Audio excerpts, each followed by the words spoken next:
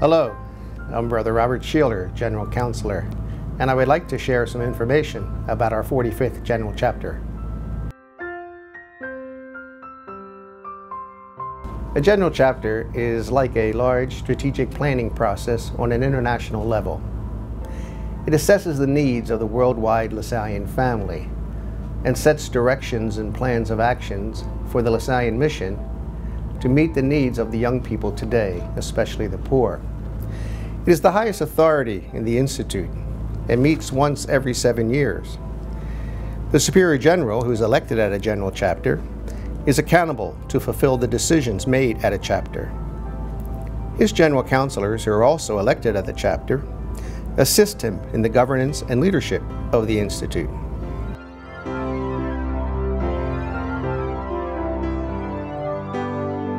The first general chapter occurred in 1694 and was attended by 13 delegates, including our founder, St. LaSalle. Of course, at that time, all the delegates were French. At this 45th general chapter, there will be 88 delegates coming from all corners of the world, representing the LaSallian presence in 80 countries. It's a wonderful image of what the world can be, a gathering of people committed to collaboratively working together for the betterment of all humanity.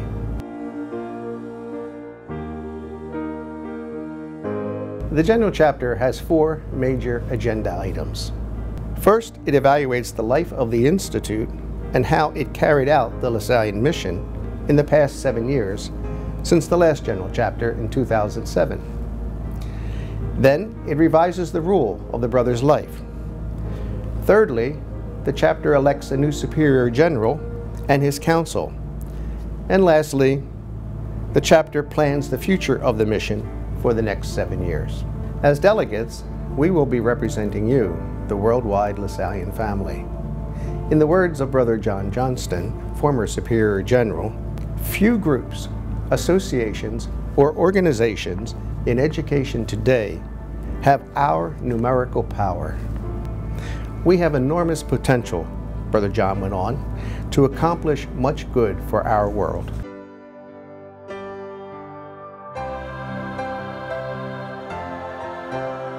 The number of delegates to a general chapter is based on the number of brothers in the Institute.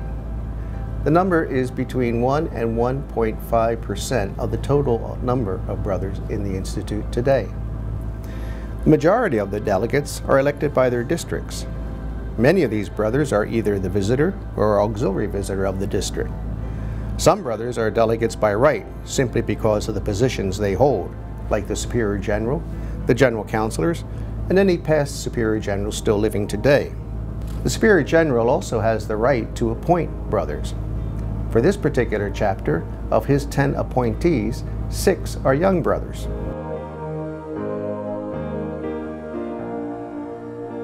After the general chapter, the decisions are published and distributed. Then, districts and regions decide on how to implement those decisions at the local level. For example, the 2007 General Chapter called on districts to defend and to promote the rights of the child.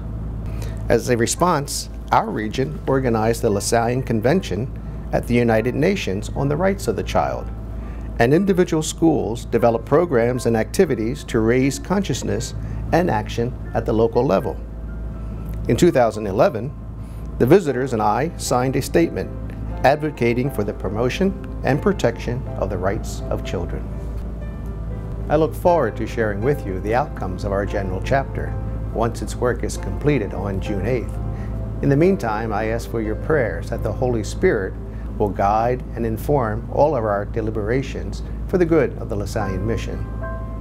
I also invite you to regularly visit the region's webpage for updates on the chapter.